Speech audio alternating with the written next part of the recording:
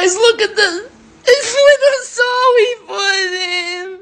Oh, your little soul girl. Oh, you're literally fallen asleep. if I had to rate this, it would be a 10 million out of 10.